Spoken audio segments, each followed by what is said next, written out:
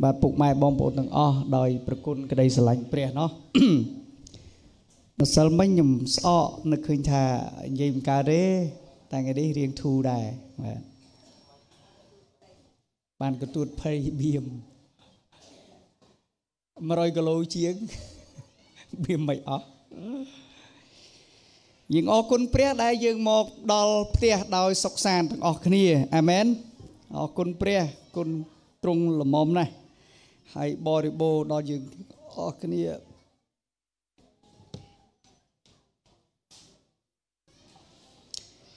បាទឥឡូវយើងសូមអធិដ្ឋានជាមួយខ្ញុំដើម្បីនឹងរៀនព្រះបន្ទូលព្រះប្របីដែរថ្ងៃនេះគុណអរគុណព្រះសាជាថ្មីម្ដងទៀតនៅប្រពោដ៏ធំធេងរបស់ព្រះ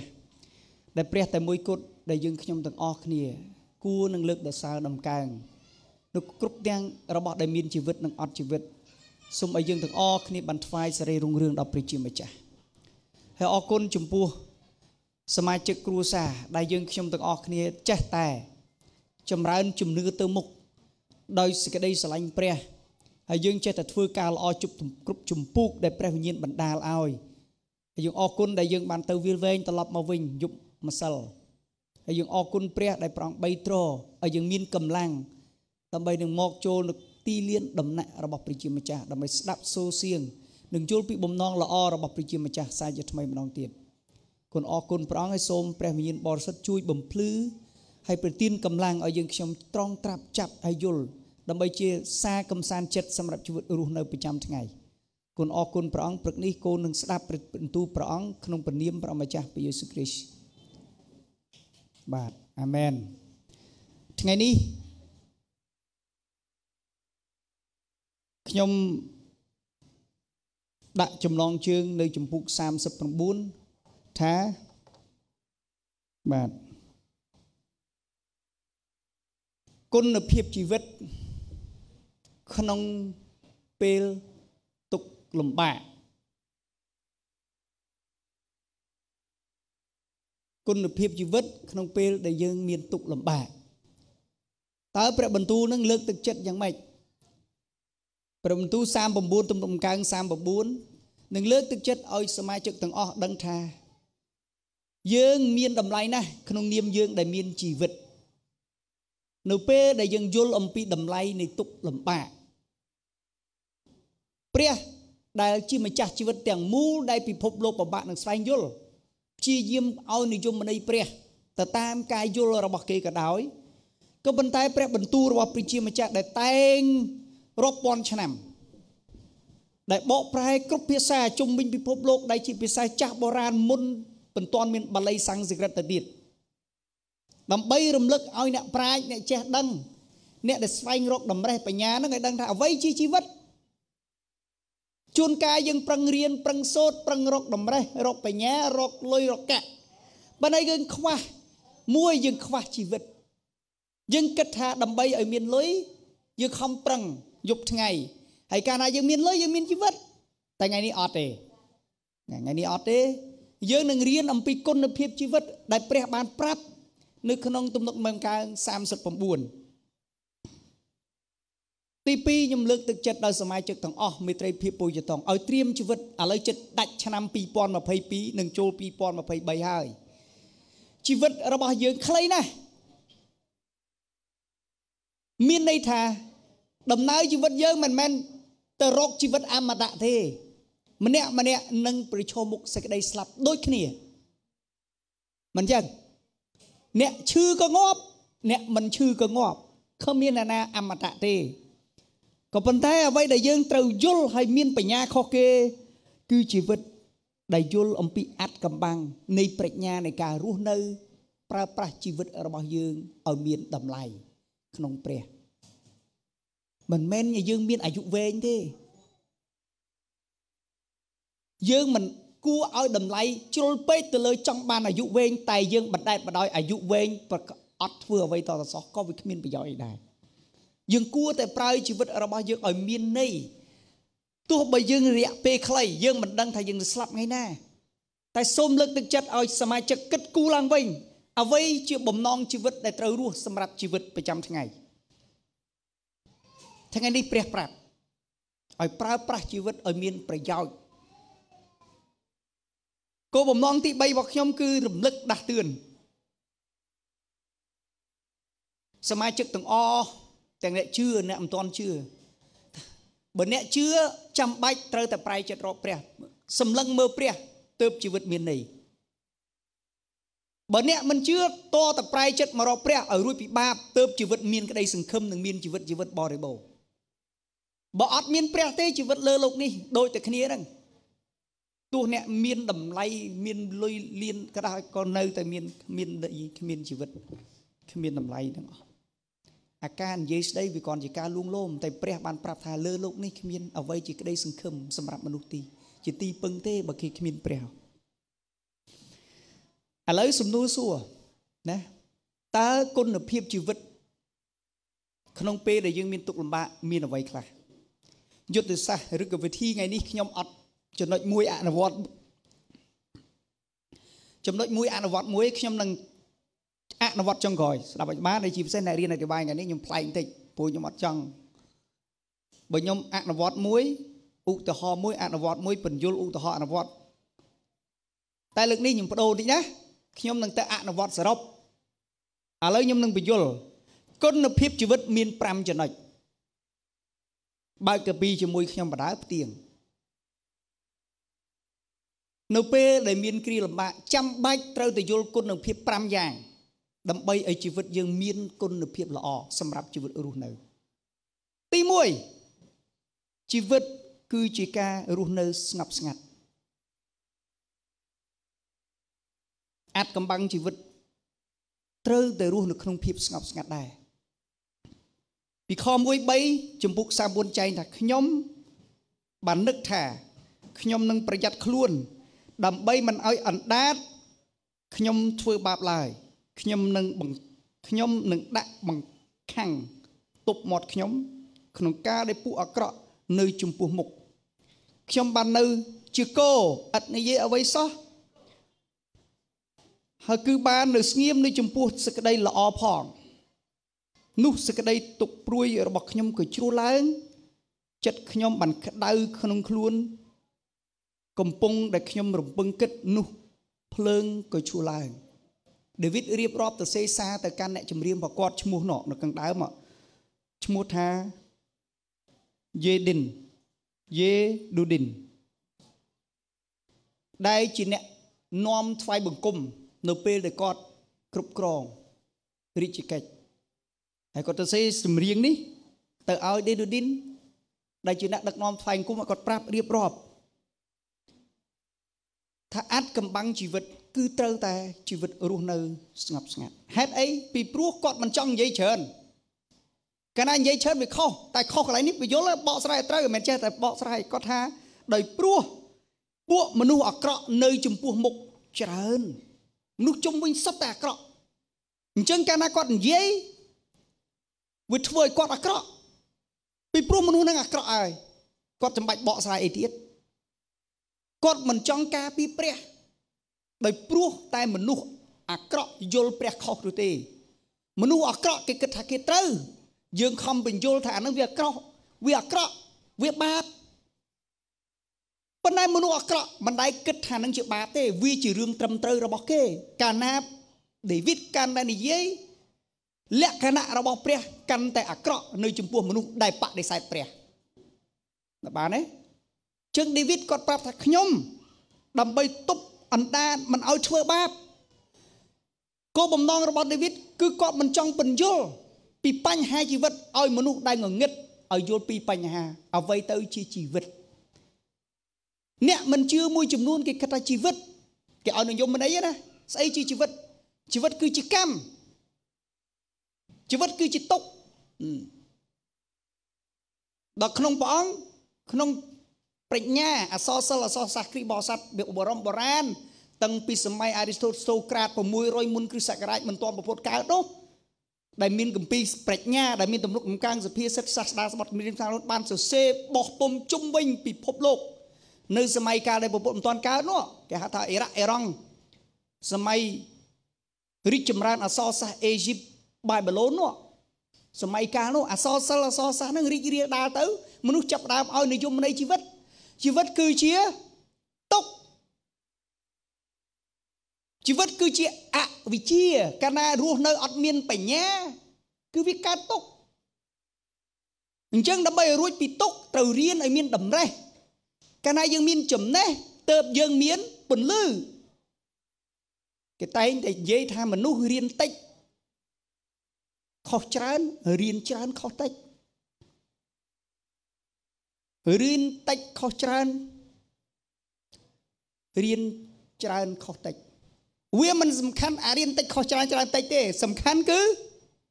មនុស្សអត់ទទួលស្គាល់តម្រេះមកពីព្រះ មនុស្សព្យាយាមបញ្យល់បញ្ហាជីវិតដោយយល់ថាបាប គឺជាបញ្ហាប្រគេប៉ុន្តែមិនបានទទួលស្គាល់ថាបាប គឺជាការបដិសេធព្រះ ដែលបានបង្កើតពិភពលោកនោះទេឃើញអត់ម្លោះហើយនៅពេលដែលបញ្ហាអាក្រក់ជុំវិញដេវីតមនុស្សបាបជុំវិញបាបវាសំដៅទៅលើទង្វើបាបច្រើនណាកាលណាយើងរៀបរាប់បាបវាច្រើនកាប់សម្លាប់ឈ្នាននេះទាស់តែងផិតក្បត់អានឹងនិយាយផលនៃបាបផ្លែនៃបាបហើយយើងសំដៅទៅលើក្រឹតវិន័យ10ប្រការកុំឲ្យមានព្រះអាណាទៅក្រៅពីអញ្ញសោះកុំឲ្យឆ្លាក់រូបជុំវិញសិតរូបព្រះ ផ្ទះមួយមានព្រះ10គ្រួសារមានម៉ែព្រះមួយទៅអាកូនក្បាលរឹងក៏យកព្រះមួយទៀតដាក់ដើម្បីប្រឆាំងម៉ែទៅអញ្ចឹងវាធ្វើឲ្យច្បុកច្បល់សង្គមបុរាណអញ្ចឹងដេវីតគាត់ប្រាប់ថាខ្ញុំទប់អណ្ដាតនេះមិនចង់និយាយទៅប្រាប់មនុស្សអាក្រក់ជំវិញហ្នឹងពីព្រោះកាលណានិយាយទៅនិយាយពីរឿងព្រះពន្យល់ពីព្រះថាអ្នកបាបអ្នកមិនមែនព្រោះអ្នកមានគ្មានតម្រេះបញ្ញាបាបអ្នកពីព្រោះអ្នកក្រទេ បាបអ្នកអ្នកមានបញ្ហាជីវិតដោយព្រោះអ្នកបដិសេធព្រះដែលម្ចាស់ផ្ទៃមេឃផែនដីហើយបើខ្ញុំនិយាយអញ្ចឹងអ្នកថាខ្ញុំឈួតពីព្រោះរឿងនេះយើងមើលទៅផ្ទៃមេឃផែនដីមើលទាំងពលឺព្រះអាទិត្យរបស់ដែលមានជីវិតនិងអត់ជីវិតយើងគួរតែឃើញស្នាប្រោះរបស់ព្រះព្រះបានសម្ដែងក្តីស្រឡាញ់ព្រះអស់ហើយប៉ុន្តែមនុស្សព្យាយាមទៅសិក្សាទៅពីខ្យល់នៅលើអាកាសអ្នកប្រាជ្ញដំបងរបស់ក្រិចឈ្មោះថា សេលសេលបានសរសេរក្រិចទស្សនៈសិក្សាអំពីយមន័យជីវិតមុនដំបងនៅ600មុនគ្រិស្តសករាជដែលជាហេតុផលសិក្សាពីបត្តភាពឬបត្តភូតធម្មជាតិតើតើជីវិតជាអ្វីគាត់ចាប់ផ្ដើមទាញធម្មជាតិពីពីទឹកហើយនឹងខ្យល់យកមកវិភាគគាត់អត់និយាយពីរឿងព្រះដែលបានបង្កើតផ្ទៃមេឃថ្មីត្បិតគម្ពីរបកត្រូវបានជាភាសាអារ៉ាមេកហេប្រឺសម័យបុរាណក៏ដោយ ប៉ុន្តែសង្គមក្រិចដែលកើតនៅក្នុងទឹកដីទូគីជាសុទ្ធជាអ្នកប្រាជ្ញដែលក្រោយមកធ្លាក់ក្នុងកណ្ដាប់ដៃរ៉ូមអឺបាប៊ីឡូនបាឡូនបានគ្រប់គ្រងទៅដល់ទូគី ធ្វើឲ្យអធិពលអ្នកចេះហ្នឹងបាប៊ីឡូនបានคล้ายទៅជាអ្នកសិក្សាស្រាវជ្រាវដែលគេហៅថាពួកអ្នកប្រាជ្ញសពថ្ងៃពួកត្រាស់ដឹងបដិសេធកពីចោលទោះបីកពីនេះបានចែងទាំងមុនដំបូងក៏ដោយ ថាព្រះបានបង្កើតផ្ទៃមេឃផែនដី មនុស្សអត់ទទួលស្គាល់ព្រះទេអញ្ចឹងហើយដេវីតគាត់ចាប់ផ្ដើមទៅសេថាបើករណីខ្លះយើងគួរតែស្ងាត់យើងមិនចាំបាច់ទៅខំបញ្យលបកស្រាយមនុស្សដែលបដិសេធព្រះទេប៉ុន្តែព្យាយាមព្យាយាមអ្វី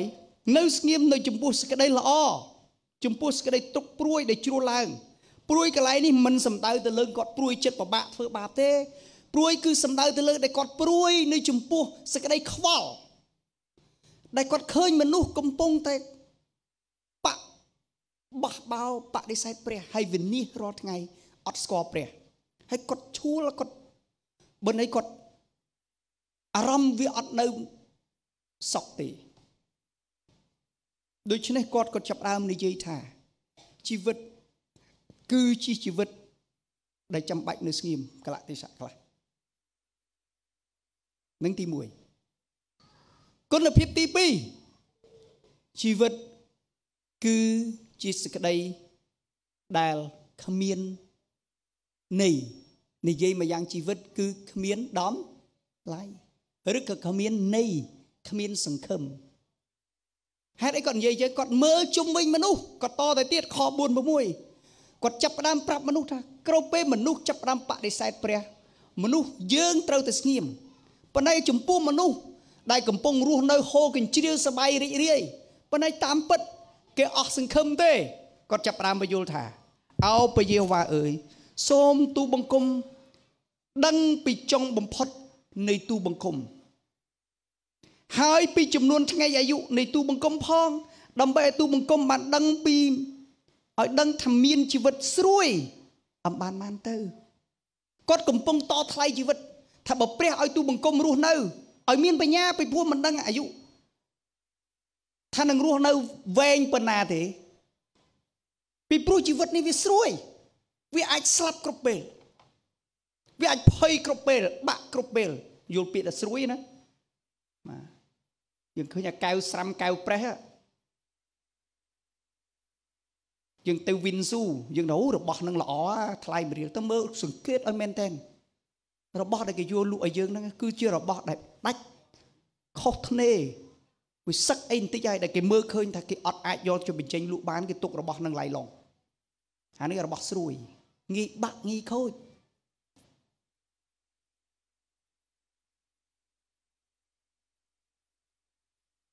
ជីវិតដែលពោអត់ដែលដេវីតគាត់កប៉ានបញ្យលគឺជាជីវិតដែលគ្មានសង្ឃឹមទេកាលណាយើងរស់នៅពិតប្រកបយល់ន័យលើផែនដីនេះអាយុខ្លីអត់ដឹងតែត្រូវស្លាប់ថ្ងៃណាដើម្បីទូបង្កើតដឹងថាជីវិតនេះវាស្រួយយល់ទេស្រួយងាប់អត់ដឹងថ្ងៃណាឥឡូវឧទាហរណ៍យើងទៅដល់ភូមិកដាល មុននឹងដល់សាលារៀនភូមិកដាលនៅដល់ដីយើងប្រហែលជាមិនដល់1គីឡូផងបើឡាននៅមុនហ្នឹងឯងបាទគ្រោះថ្នាក់ចរាចរណ៍ខាងស្លាប់បាន9នេះឯងស្លាប់មួយហ៎បាទហឹមពីអូពីរនេះអើព័ត៌មានច្បាស់ហើយប៉ុន្តែព័ត៌មាន Facebook ថា9ណា បើមិនអីទេស្លាប់ប្រមាណក៏ដោយប៉ុន្តែសំខាន់ជីវិតវាស្រួយវាស្រោយអើវាស្រួយវាផុយមិនដឹងហីអាត្រឡប់មកវិញ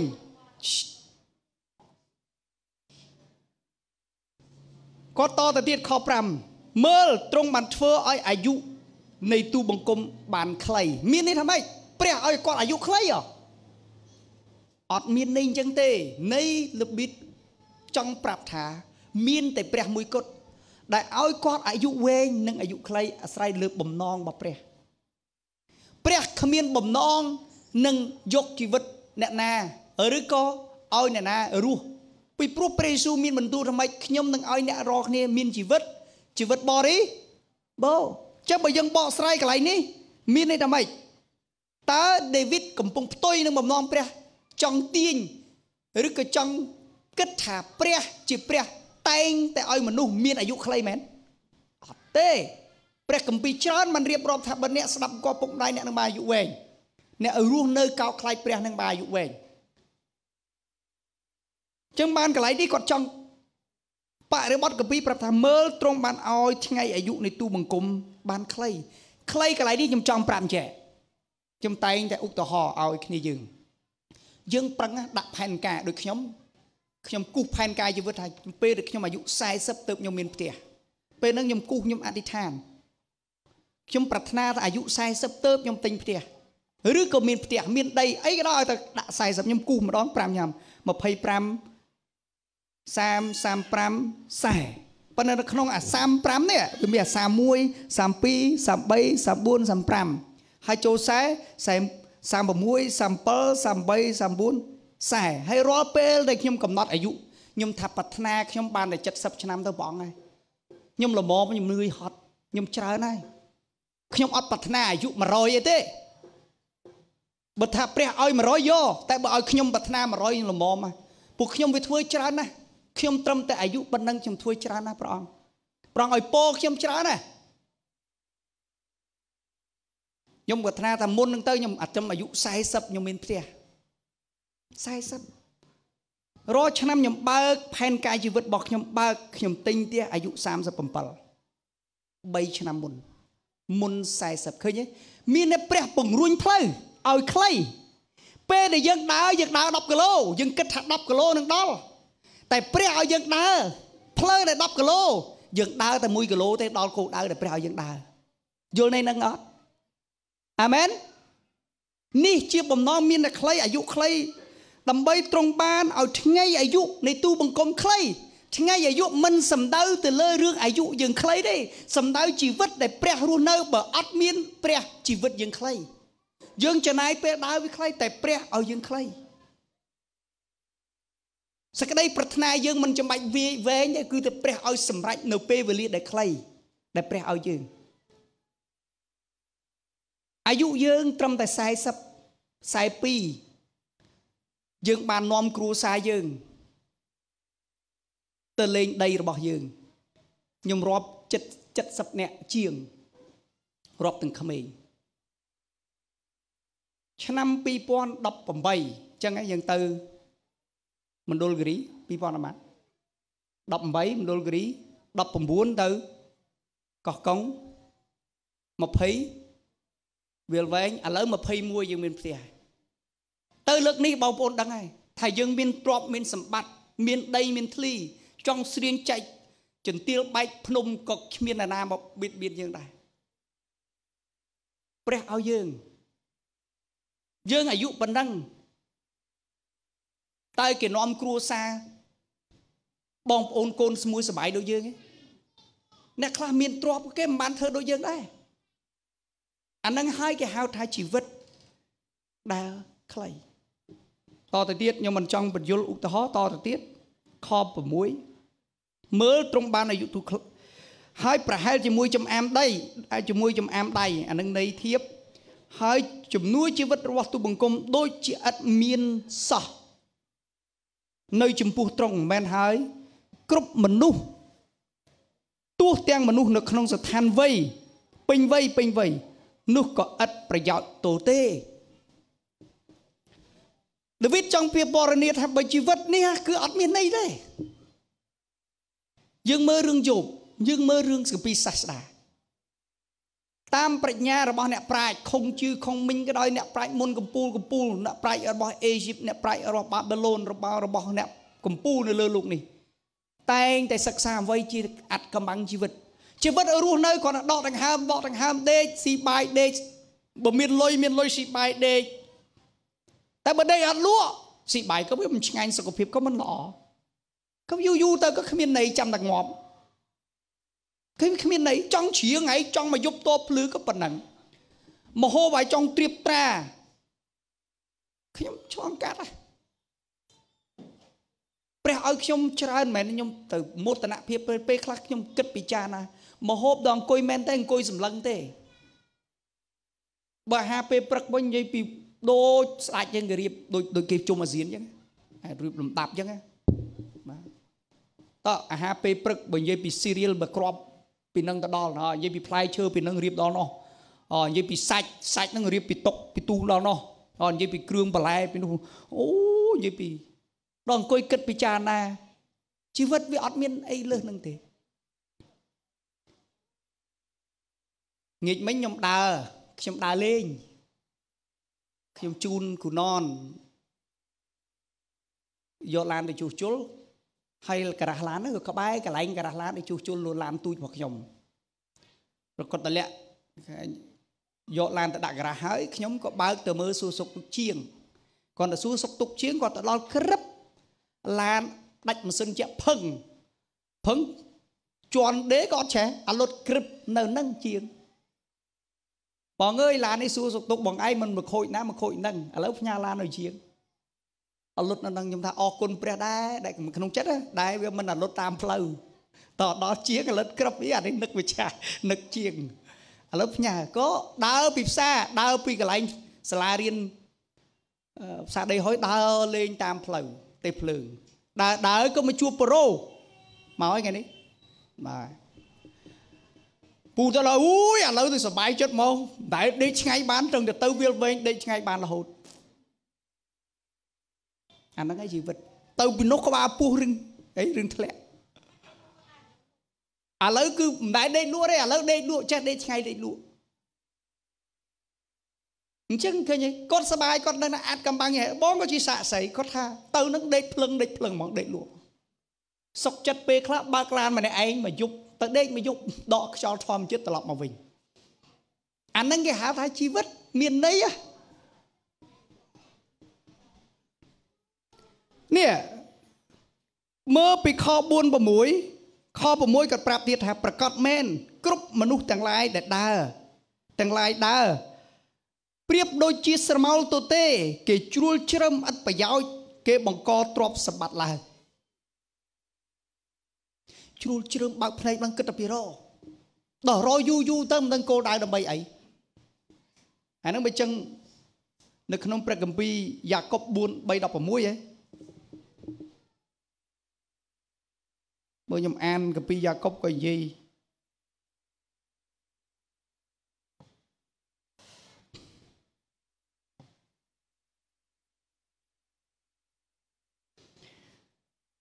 កាពីក៏ប្រាប់ថាម៉េច ឥឡូវនេះពួកអ្នករលដឹងដឹងថាថ្ងៃនេះឬថ្ងៃស្អែកយើងនឹងទៅឯក្រុងណាមួយហើយនៅក្នុងស្រុកនោះអស់មួយឆ្នាំដើម្បីនឹងរកស៊ីឲ្យបានចំណេញអ្នករកគ្នាមិនដែលដឹងថានឹងកើតមានយ៉ាងណាដល់ថ្ងៃស្អែកទេត្បិតជីវិតអ្នករកគ្នាជាអ្វីជាចំហាយទឹកទៅទេតាដែលឃើញតែមួយផ្លែតក៏រួចក៏បាត់ទៅ គួរតែបាននិយាយដូចនេះវិញថាបើយើងរស់នៅ ហើយព្រះជាម្ចាស់សពហាតីនោះយើងនឹងធ្វើការនេះឬការនោះ តែឥឡូវនេះអ្នករនេះមានសេចក្តីអំនួតពីពាក្យអំនួតអួតអាងរបស់អ្នករគ្នា ហើយគ្រប់ទាំងសេចក្តីអំនួតយ៉ាងនោះគឺសុទ្ធតែអាក្រក់ទាំងអស់ដូច្នេះអ្នកណាដែលចេះធ្វើល្អនោះមិនធ្វើអ្វីសោះរាប់ថាជាអ្នករាប់ជាបាបដល់អ្នកនោះវិញកន្លែងនេះនិយាយអំពីទ្រព្យសម្បត្តិព្រះយេស៊ូវក៏រៀនមានបន្ទូលកាពីលូកាចំពុក12ថាអ្នកមានភ្លីភ្លើណាសំទ្រព្យស្លាប់ទៅអ្នកនឹងយកទ្រព្យទៅឯណា កន្លែងនេះគឺរៀបរាប់តាមបទពិសោធន៍ដាវីតប្រាប់ថាជីវិតគ្មានន័យទេលើផែនដីប្រសិនយើងប្រមូលទ្រព្យសម្បត្តិដើម្បីឲ្យជីវិតមានសេចក្តីសុខលទ្ធផលចុងក្រោយគឺអត់ន័យនិយាយនេះមិនឲ្យរទេ ប្រឹងរតែកុំឲ្យប្រឹងរភ្លេចព្រះបានជាថ្ងៃឆ្នាំនេះអរគុណបងបរុនដែរគាត់និយាយផ្ទាល់ថាមិនដែលមានពេលដែលគ្រួសារប្រពន្ធកូនគាត់ទៅលេង គាត់បានសុកចិត្តទូបីតែពេលវេលានឹងគេចុចទូរស័ព្ទមកបិទចោលហើយខ្លាំងអីហើយបើផ្ទះហ្នឹងវាកោចោលគោះត្រឹមទ្រព្យសម្បត្តិមកពេលនោះវាយកទៅ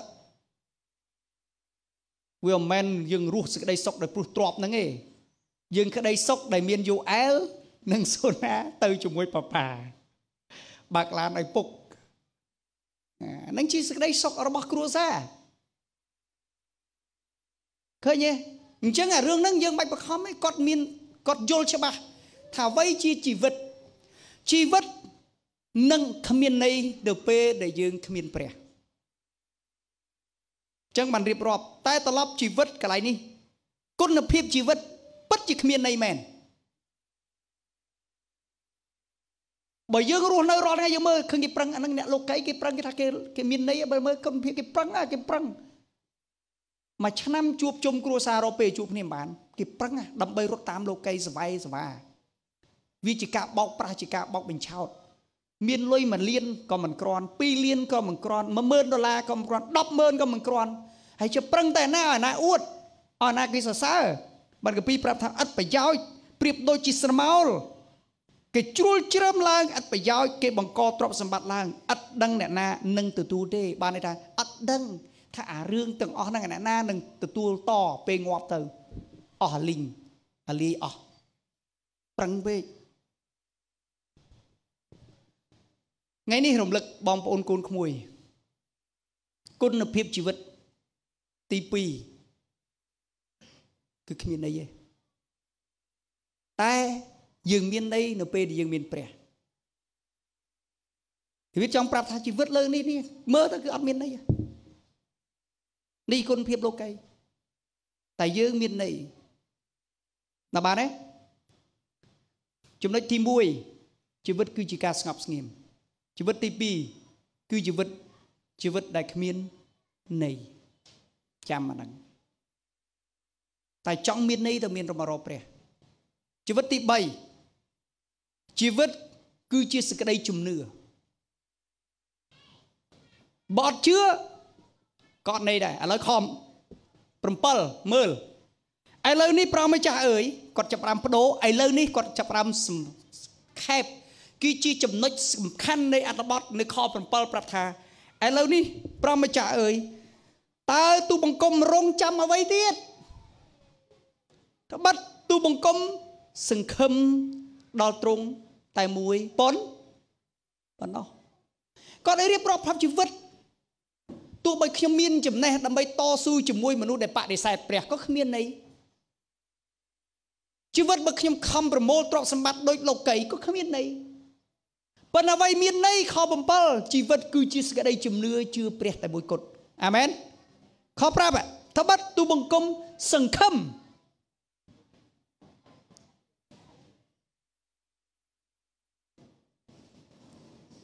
ព្រះគម្ពីរច្រើនកន្លែងបានរៀបរាប់ថា អស់អ្នកណាដែលសង្ឃឹមដល់ព្រះយេហូវ៉ាអ្នកនោះនឹងចម្រើនកម្លាំងឡើងអស់អ្នកណាដែលទុកចិត្តដល់ព្រះយេហូវ៉ាអ្នកនោះនឹងឃើញសេរីរុងរឿងរបស់ព្រះជាម្ចាស់ដេវីតស្គាល់ច្បាស់ហាស្គាល់ត្បិតទូបង្គំសង្ឃឹមត្រង់តែមួយប៉ុណ្ណោះចំណុចស្នូកន្លែងនេះលោកបានប្រាប់ថាទោះបើជីវិតយើងត្រូវមាន ស្ថានភាពជ្រើសរើសរវាងល្អអាក្រក់រវាងបាបនិងសេចក្តីសុខរវាងទុក្ខនិងសេចក្តីរីករាយបើរឿងកន្លឹះត្រូវតែមានជំនឿក្នុងព្រះទូបង្គំសង្ឃឹមព្រះអង្គតែមួយប៉ុណ្ណោះហេតុអីពីព្រោះព្រះជាម្ចាស់ជាម្ចាស់អតិកោព្រះលើអស់ទាំងព្រះ ព្រះជាព្រះដែលមានទាំងអស់ ក្នុងទ្រង់គឺមានជីវិតជីវិតបរិបូរព្រះជាម្ចាស់បានសន្យាដល់អ្នកណាដែលដើរតាមបងបងធ្វើជាឪពុក ដែលមើលថែគេប្រឹងមិនមែនជាឪពុកដែលជាបាច់កកូនវាយប្រហារកូនទេតែជាឪពុកដែលរក្សាដែលនឹងឲ្យដល់អ្នកណាដែលសូមហើយដេវីតគាត់ច្បាស់កន្លែងថាទូបង្គំនិងសង្ឃឹមដល់ត្រង់តែមួយ ឧទាហរណ៍យើងទៅវាលវែងឡានដឹងត្រាប់ថាតកងយើងគឺតកងដែលថ្មីពិសោធន៍យកចាស់ចាស់មួយឡានយកទៅពិសោធន៍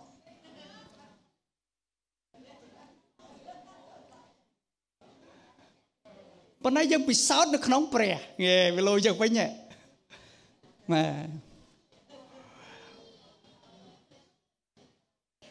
អានោះដូចដុកទ័រទៅពិសោធន៍ ដូចអ្នកតម្រៀនពេទ្យទៅពិសោធន៍អ្នកដែល មានជំងឺចឹងណាគាត់ទៅពិសោធន៍ប៉ុន្តែក៏សោតមែនប៉ុន្តែមានអ្នកដុកទ័រមេជំនាញនៅក្បែរអត់អីទេអត់សូវភ័យទេមិនដឹងតែបើយើងពិសោធន៍ដោយគ្មានអ្នកជំនាញអាហ្នឹងវាអាចកត្រៃជាប់ពោះបាទយើងអរគុណព្រះដែលព្រះនាំយើងទៅដល់វាលវែងយើងបើកជោគជ័យដល់ប្រមោយឡានឈប់មែនយើងព្យាយាមចេះឆ្ងល់ចេះហេតុអីឡានទៅដល់ប្រមោយដល់តុងអាំងចេះតែលុត យកបងពិរុនសវេសវាយយកដុំថ្មកាលចឹងទៅគ្នាយើងសវេសវាយខ្ញុំអង្គុយខ្ញុំអង្គុយម្យ៉ាងខ្ញុំចេះតែអសបាយណាងីល្អដែរដែលព្រះឲ្យយើងចេះតែមានទុកលំបាកដើម្បីឲ្យយើងដឹងក្តីស្រឡាញ់របស់ព្រះចេះតែលេចឡើងឲ្យយើងឃើញនឹងការល្អរបស់ព្រះ ក្នុងពេលដែលយើងកំពុងលំបាកចេះរៀនអត់ធ្មត់រៀនទ្រាំទ្រជាមួយគ្នាណាហើយយើងទៅដល់ ដល់មកវិញវាមិនមែនតែរឿងខ្ចលណាណា វារាក់តាក់តងរឿងសាំងរបស់យើងចាក់វាមិនគ្រប់លីត្រដល់អញ្ចឹងយើងបើកដល់វាឡើងអញ្ចឹងទៅអាតយោសាំងហ្នឹងវាផើយវាផុតដល់ផុតទៅវាចូលខ្ចលដល់ចូលខ្ចលឡានអាលុតអញ្ចឹងដើម្បីកុំឲ្យឡានអាលុតតតែចាក់សាំងឲ្យពេញអាហ្នឹងតាមមិនអាលុតដល់យើងមកវិញយើងចាក់ទៅអារត់ផ្លូវស្មៅវាមានអាលុតអីវាហ្នឹងហើយប៉ុន្តែរឿងមួយដែលធ្វើទីមន្ទាល់យប់ដែលយើងមក គឺយើងនឹងវិសមួយឡានមៀងបាទហើយអ្នកជិះក្នុងឡានអត់ដឹងទេបើទៅកងឡានដឹងហើមចុងសក់ហើយអីអញ្ចឹងហ៎បលឹងចុងសក់ហើយតែយ៉ាងណាប្រជាម្ចាស់ជាក្តីសង្ឃឹមយើងតែមួយគត់នៅក្នុងជីវិតរបស់យើងអាមែននេះយើងមកដល់ផ្ទះដោយសវត្ថិភាពទាំងអស់គ្នាអត់មានអ្នកណាឈឺហើយនៅក្នុងព្រឹត្តិការណ៍ហ្នឹងយើងឃើញទាំងអគុណ ដែលទៅជួយខ្នះខ្នែងអត់ប្រមាណកម្លាំងនេះទៅលើកកោះថ្មនេះ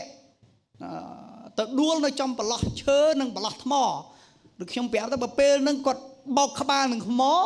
ឬជាកេះគាត់ត្រូវបោកនឹងថ្មចប់បាត់ហើយលែងសបាយកាយទុកទាំងអស់ត្រូវឡើងមកទាំងពេញទាំងយប់យកមនុស្សមកពេទ្យតែព្រះបានការពារគុណមកប្រឡោះថ្មហ្នឹងហើយឈើស្រួចទៀតហ៎ អានឹងរឿងទៅ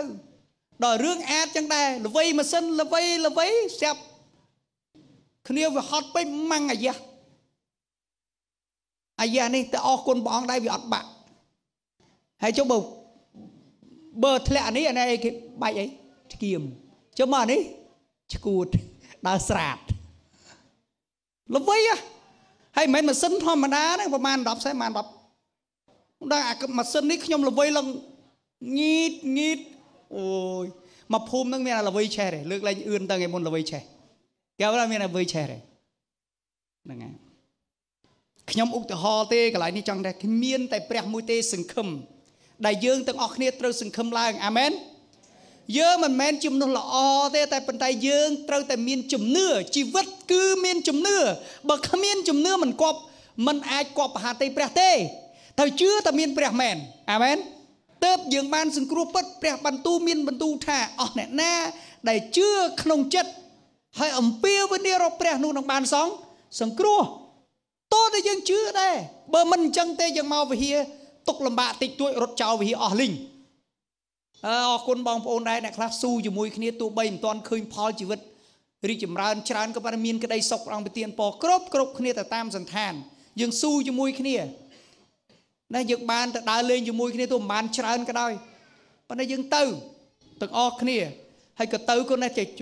នឹកឃើញបងប្អូនយើង ដែលមិនបានទៅអាណិតគាត់ដែរនឹងធ្វើម៉េចពេលវេលាគាត់កូនគាត់ប្រពន្ធគ្រួសារដែលគាត់មិនបានទៅ តែយើងជឿយើងសង្ឃឹមតែព្រះជាម្ចាស់នឹងគៀងកគ្រួសារយើងនឹងជួបខ្ញុំជុំគ្នាច្រើនកកកនៅក្នុងឆ្នាំ2023អាមែនចង់ទៅទៀតអត់ ដល់ពេលហ្នឹងផ្ទះច្រើនហើយអាចាំតិចទៀតកុំភ្លេចឡើងធ្វើទីផ្ទាល់ឥឡូវគុណភាពទី3គឺមានជីវិតមានជុំជំនឿឥឡូវជីវិតទី1គឺអីស្ងប់ស្ងាត់ទី2ទី3ជំនឿទី4ជីវិតគឺជាការប្រែចិត្តខ8ដល់13 ក្រោយពីគាត់បានជឿថាគាត់ជឿព្រះគាត់បានរៀបរាប់ថាមិនគ្រាន់តែជឿទេជីវិតប្រចាំថ្ងៃត្រូវតែប្រែចិត្តហេតុអីពីព្រោះជីវិតគឺជាការតាំងចិត្តចេញពីអំពើបាបគាត់ប្រាប់នៅក្នុងខ8សូមជួយទូបង្គំឲ្យរួចពីគ្រប់អំពើរំលងដែលគាត់បានប្រព្រឹត្តស្អីជាអំពើរំលងគឺជាច្បាប់ដែលធ្វើឲ្យព្រះមិនសប្បាយចិត្ត វាជាក្រិតវាជាជាអំពើបាបស្មោករកនៅចំពោះព្រះដែលព្រះស្អប់ខ្ពើមបាបព្រះស្រឡាញ់យើង តែព្រះស្អប់បាបកាលណាយើងក្អប់ក្រសោបបាប យើងប្រៀបដូចជាកូនហៀសបោនិយាយម្ដងហើយអត់ស្ដាប់ប៉ុន្តែព្រះនៅតែស្រឡាញ់យើងចឹងប្រៀបដូចជាឪពុកម្ដាយដែលនៅស្រឡាញ់កូនចឹងទោះបីវាហៀសបោមិនក៏នៅតែស្រឡាញ់វាប៉ុន្តែមានវេដីខ្លះវាយវាមិនពាត់ពីពាត់សិនឲ្យវាដឹងថាឪអត់ចង់បានអញ្ចឹងទេ និយាយឲ្យអត់ស្ដាប់ចឹងបានដាវីតយល់កន្លែងនេះសូមជួយទុំគុំរួចអំពីរំលង របស់ទូបង្គំសូមកុំឲ្យទូបង្គំបានជាឌីលថ្មេះបើគាត់ប្រព្រឹត្តបាបគេមើងងាយគាត់ពីព្រោះគាត់ជឿព្រះបរិសុទ្ធគាត់នៅទៅទង្វើបាបគាត់នៅទៅបណ្ដោយអីជាទង្វើអាក្រក់នៅចំពោះ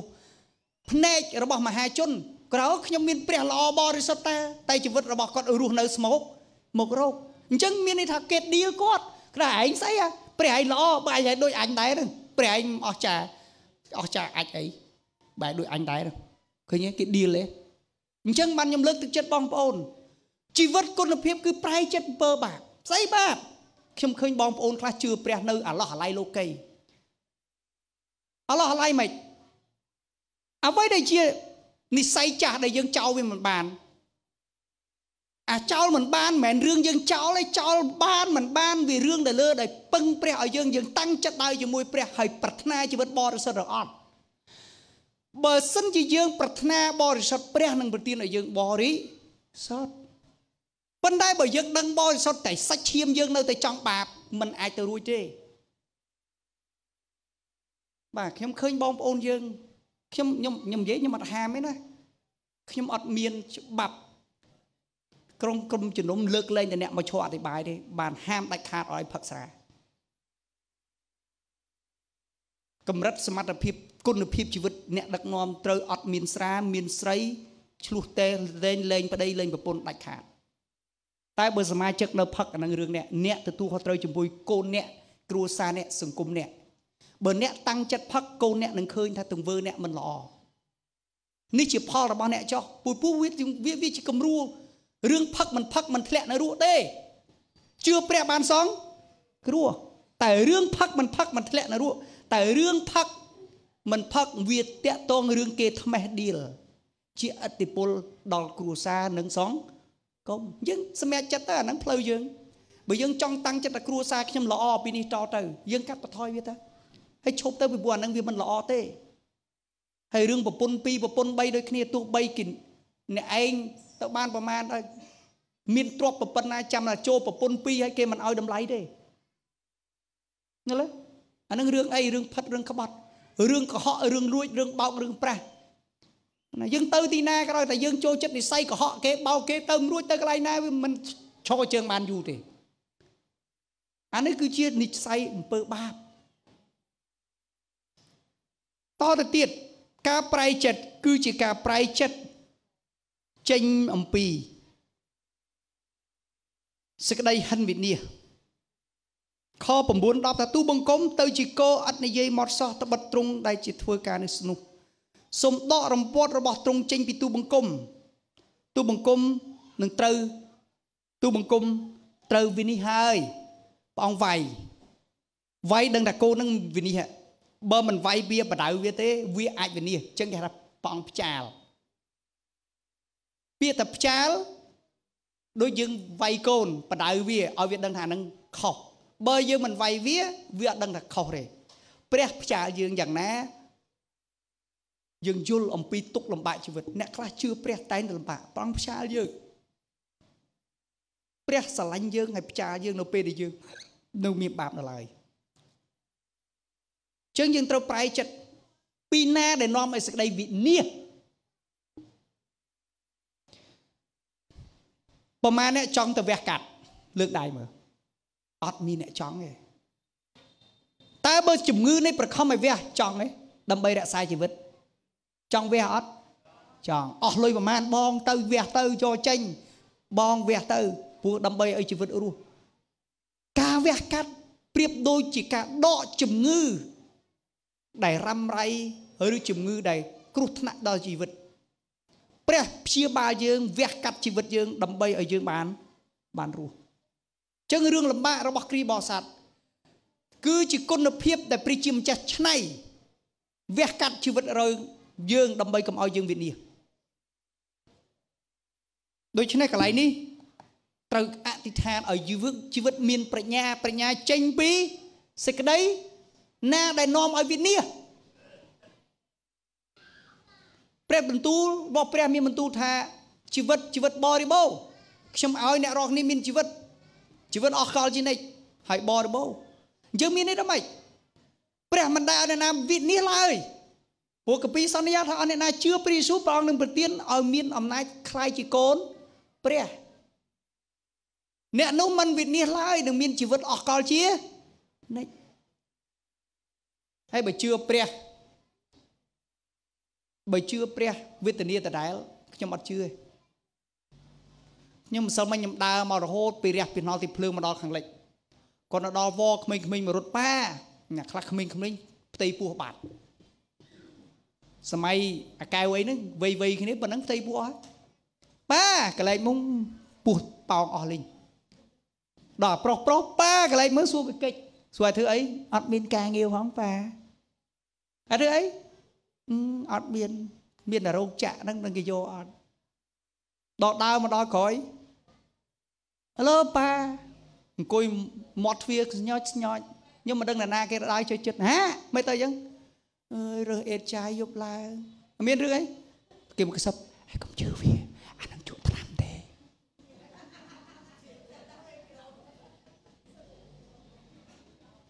ប៉ុន្តែវាថាប៉ារើសអេតចាយយប់ឡើង ស្គមឯងស្គមដល់ហ្នឹងពីមុនធွာទៅណាស្គមឬអត់ចាយដល់ម្នាក់មកខ្សឹបកុំជឿវាវាជក់មក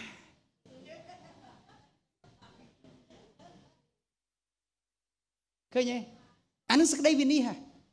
ហើយបើពួកវាមកវិហារតាំងពីក្មេងមកហើយខ្ញុំដើរមកខ្ញុំផ្ដាំពួកឯងរាល់គ្នាណាមករយៈប៉ាលេងមកជួយហើយណោះទៅធ្វើដីវាវែងសិនពួកឯងនេះចង់មានជីវិតតឯងខំប្រឹងរៀនសិនហើយមករកព្រះ បើឯងរកព្រះទេឯងនៅនឹងចឹងមកជីវិតម៉ែឪពុកម្ដាយឯងក៏ជួយអត់បានដែរពីព្រោះបាបនឹងធ្វើឲ្យឯងមិននេះគឺពួកឯងមិនអាចឈ្នះបាបដោយការប្រព្រឹត្តល្អបានទេឯងមានតែការជឿព្រះទេបានរួចពីបាបផ្ដាំប៉ុណ្ណឹងខ្ញុំដើរចេញមកដល់ជួបមកគ្រួសារទៀតលោកគ្រូមកពូជមកហ្មងមករយៈគេបិទ10ថ្ងៃរត់បានឬអេតចាយ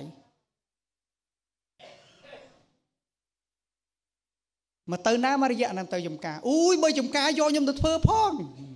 យកទៅធ្វើផងមួយថ្ងៃ10000ក៏បានដែរបាយលើគ្រូមួយថ្ងៃ10000បាយលើគ្រូឲ្យធ្វើអីក៏ធ្វើដែរឲ្យតែមានបាយ3ពេល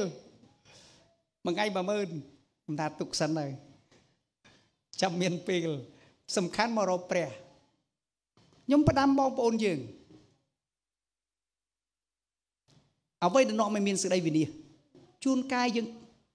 យើងស្រឡាញ់បាបជ្រុលហើយអត់ដឹងថានឹងវាជាបាបរហូតបណ្ដោយបាបคล้ายទៅជាទង្វើដែលបាក់បែកគ្រួសារក្រុមជំនុំខ្លួនឯងដែលអត់ដឹងខ្លួនកន្លងមកក្រុមជំនុំយើងបាក់បែកគ្នាដោយសារយើងស្រឡាញ់បាបជាជាងស្រឡាញ់ព្រះបើយើងពិតប្រកបស្រឡាញ់ព្រះយើងនឹងនៅជាប់ជាមួយគ្នាអស់មួយជីវិតតែដោយសារយើងជ្រើសរើសផ្លូវបាបក្បាលរឹងអត់ស្ដាប់បង្គាប់ អត់ចោះចូលអត់សុំបញ្ញាពីព្រះថាអញខ្លាំងរើសប្តីក៏មិនសួរយោបល់រើសប្រពន្ធក៏មិនសួរយោបល់លទ្ធផលចុងក្រោយការពឹបបែកគ្នាអស់លីងនៅវិហារមានគ្រូដែរអញមកស្ដាប់គាត់តែថ្ងៃអាទិត្យក្រៅពីហ្នឹងទុកគាត់ទៅគ្រាន់តែជាទីងមងទៅបានហើយដល់អញ្ចឹងជីវិតវាដើរតាមហ្នឹងវានេះ ចឹងកន្លែងនេះមកដល់ខ11កាលណាទ្រង់វាយប្រដៅផ្ចាលមនុស្សដោយព្រោះអំពើទុច្ចរិតរបស់គេនោះទ្រង់ធ្វើឲ្យសេចក្តីលំអរបស់គេបាត់ទៅដូចជាមេអំបៅពិតប្រកបជាមនុស្សលំអសិតតែឥតប្រយោជន៍ទូទេឃើញមើលមើលច្បាស់ណាកុំឲ្យខ្ញុំទៀតថាកាលណាទ្រង់វាយផ្ចាលបដៅមនុស្សនោះព្រោះអំពើទុច្ចរិតរបស់គេ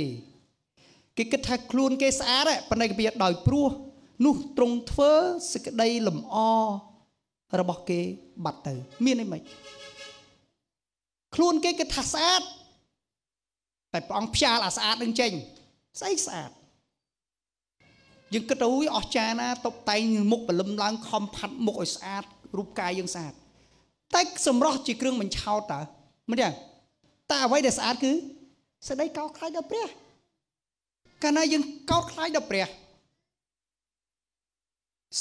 តម្លៃជីវិតនឹងវាជាក្លិនក្រអូបហើយរឿងទាំងអស់នេះជាគុណភាពជីវិតដែលគ្មាននរណាម្នាក់ល្អគ្រប់លក្ខទេប៉ុន្តែកពីប្រាប់ថាជីវិតគ្រប់លក្ខគឺជាសេចក្តីដែលយើងនៅកោតខ្លាចព្រះនៅពេលដែលយើងដើរជាមួយព្រះយើងកាន់តែល្អឡើងល្អឡើងជីវិតរបស់យើងមិនដើរថយក្រោយទេហើយប្រងនឹងផ្ចាលយើងដើម្បីអាសេចក្តីស្មោករកទ្របថាល្អស្គាល់ល្អទេ យើងអ្នកខ្លះប្រុសប្រុសឮគេនិយាយណានាំទៅទៅ KTV ចឹងយប់ឡើងមិនរៀនរៀនគម្លាតសៅស្អាតចឹងហ៎អូសាច់សខ្ចីដកដាច់តែភ្លើងពណ៌ពោមព្រលឹមឡើងក្តុំជាបអាហ្នឹងល្អរបស់គេ គឺអញ្ចឹងជាគ្រឿងបញ្ឆោតហើយព្រះផ្ចាលឲ្យក្តីអាក្រក់នឹងរលាយទៅជាងយើងត្រូវការប្រៃចិត្តដែរ ចេញពីអ្វីដែលរាប់ថាយើងឲ្យតម្លៃថាល្អដែលព្រះមើលអត់ឃើញយើងខ្លួនឯងថាស្អាតហ៎អូយខ្ញុំឲ្យតម្លៃខ្លួនខ្ញុំសម្រស់ស្អាតយើងឲ្យតម្លៃរឿងទ្រពឡានស្អាតយើងឲ្យតម្លៃគេឈ្មោះស្អាតទៅណាគេរាប់អានយើងឲ្យតម្លៃកន្លែងស៊ីផឹកកាលណាដែលមានស៊ីផឹកទៅមិនមិត្តភ័ក្តិល្អគេរាប់រកខ្ញុំឬខ្ញុំឲ្យតម្លៃទៅរាប់ញាតតាមខេត្តកាលណាខ្ញុំទៅរាប់អ្នកនេះរាប់អ្នកនោះ ឲ្យនេះឲ្យនោះគេនឹងរាប់អានខ្ញុំរហូតអានេះគាត់ឲ្យតម្លៃសិទ្ធសម្រស់គាត់ហើយគាត់គិតថាអាហ្នឹងវាជាជាជាតំណាក់តំណងថិតថេរយូរអង្វែងមើលទៅដល់លទ្ធផលចុងក្រោយមានអីជីវិតអត់មានន័យទេ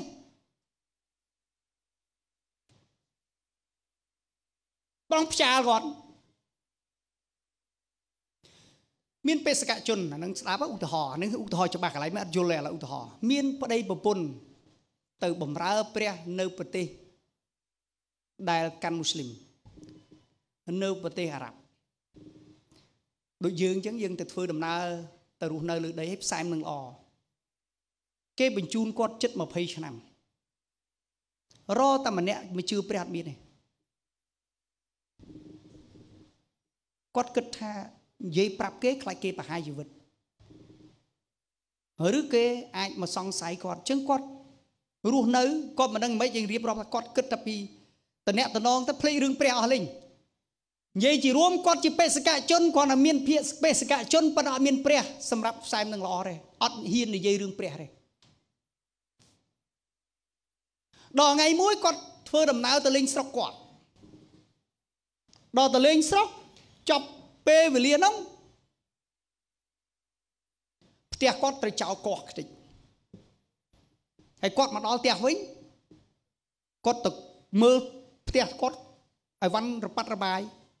ទៅមើលរត់ទៅមើលទូដៃគាត់គេកោះខ្ទេចពេជ្រឬគឺចិញ្ចៀនពេជ្រដែលគាត់ទុកឲ្យប្រពន្ធគាត់ដែលសម្រាប់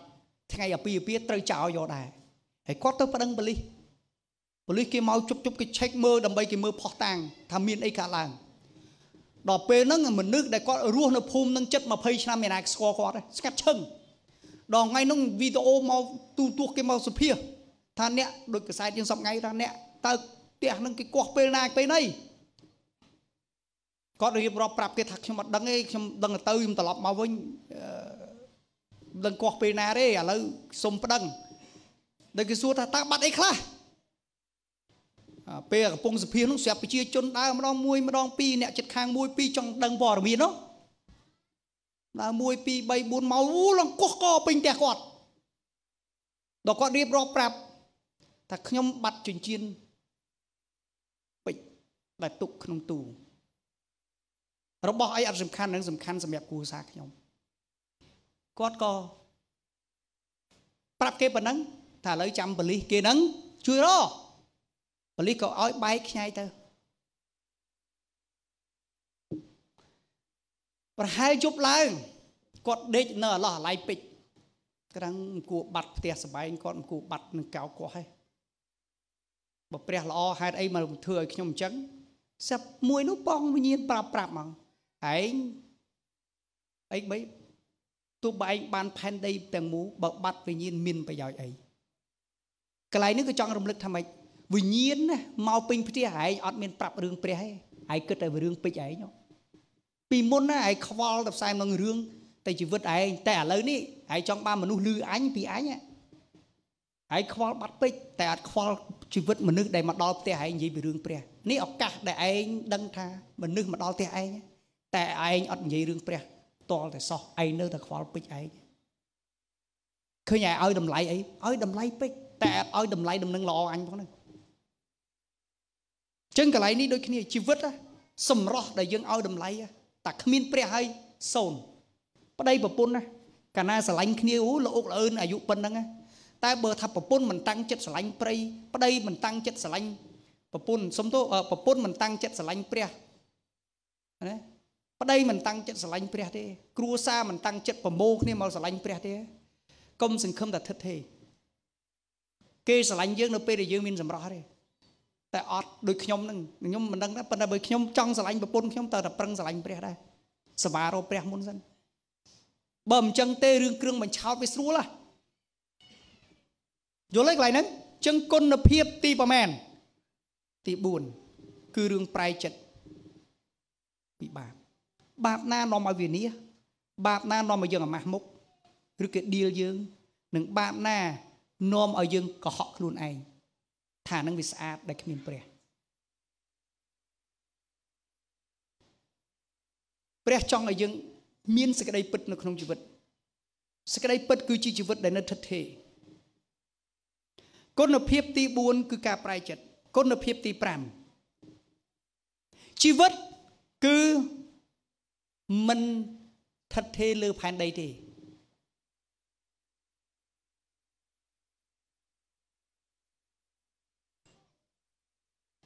ក៏តទៅទៀតអោព្រះអម្ចាស់អើយសូមស្ដាប់ពាក្យដែលអធិដ្ឋានទូបង្គំ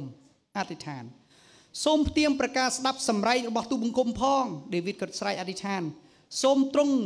កំនៅឆ្មើងឆ្មៃនឹងភ្នែករបស់ទូបង្គំឡើយត្បិតពីព្រោះទូបង្គំជាអ្នកដតីនៅចំពោះទ្រង់ចុះគាត់ថាហេតុអ្នកដតីនៅចំពោះទ្រង់យល់នៃចេះថា បើខ្ញុំនៅចំពោះព្រះអង្គខ្ញុំជាអ្នកដតីនៃចង់ប្រាប់ថាខ្ញុំអ្នកជឿព្រះនេះបើចំពោះខ្ញុំដែលជឿព្រះអង្គព្រះអង្គច្បាស់ខ្ញុំជាអ្នកបើនៅចំពោះព្រះអង្គខ្ញុំជាអ្នកដតីហេតុអីខ្ញុំបានតាំងសេចក្តីជំនឿនៅចំពោះព្រះដែលនៅអស់កលជានិច្ចដែលទ្រង់ជាម្ចាស់ឋានសួគ៌និងផែនដីតឹងជាងអពូជពងអាប់រ៉ាហាំអ៊ីសាក់យ៉ាកបគាត់ជាមនុស្សដតីនៅចំពោះមនុស្ស ដែលអត់ស្គាល់ព្រះព្រះរាប់គាត់ជាមនុស្សពិសេសហើយត្បិតទូបង្គំនៅចំពោះទ្រង់ជាអ្នកស្នាក់ដូចជាអាយកោគាត់ចង់ប្រាប់ថាម៉េចនៅលើផែនដីនេះគាត់គ្រាន់តែជាស្នាក់អាស្រ័យនៅបណ្ដោះអាសន្នទេ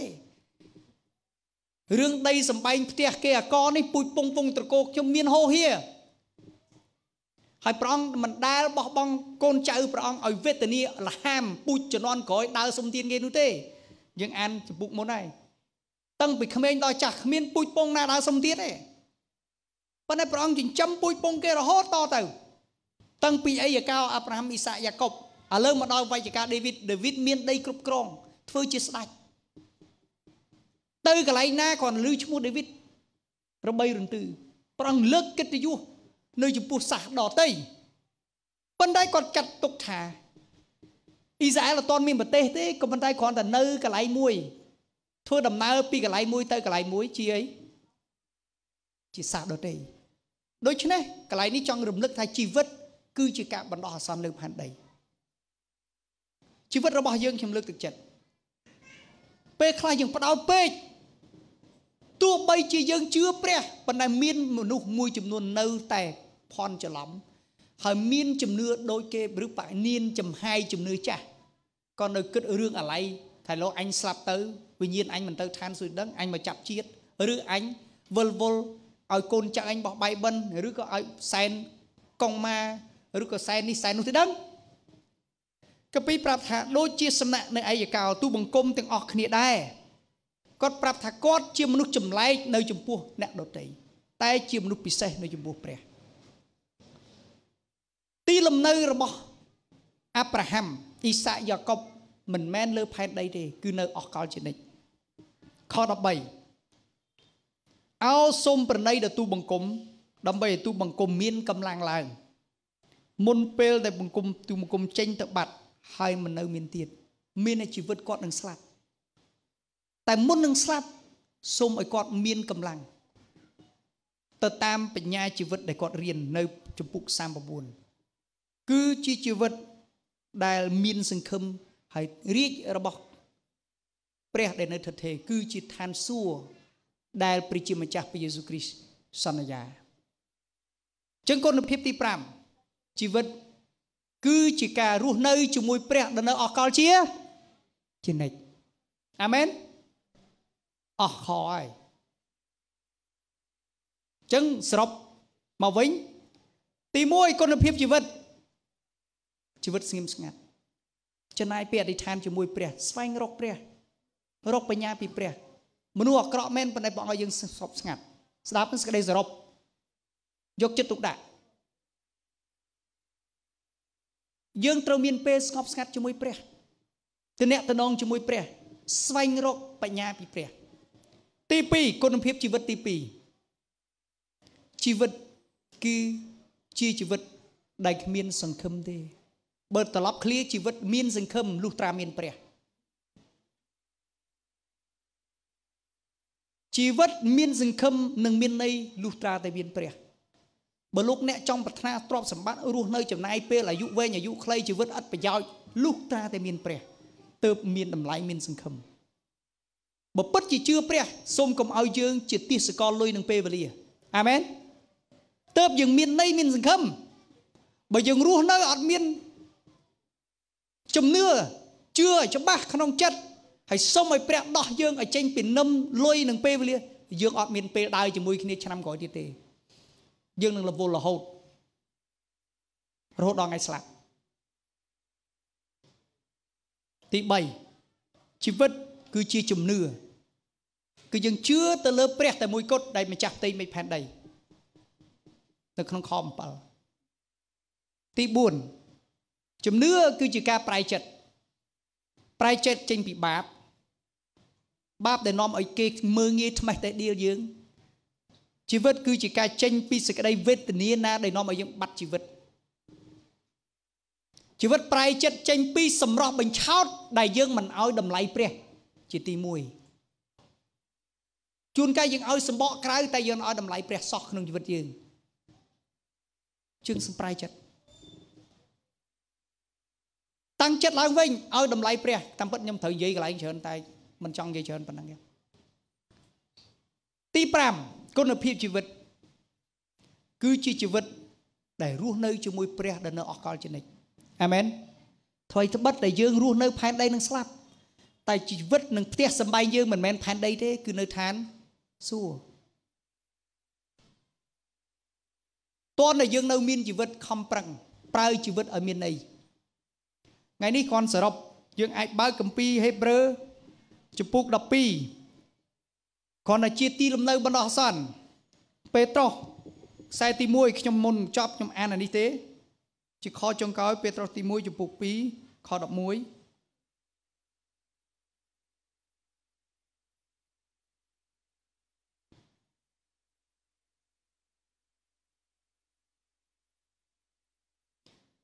អើបងប្អូនស្ងួនភ្ញៀវជំទូមានអ្នករកគ្នាទុកដូចប្រទេសក្រៅហើយដូចពួកអ្នកដែលគ្រាន់តែសំណាក់នៅថាជួយអ្នករកគ្នាជាសក្តីប៉ងប្រាថ្នាសាច់ឈាម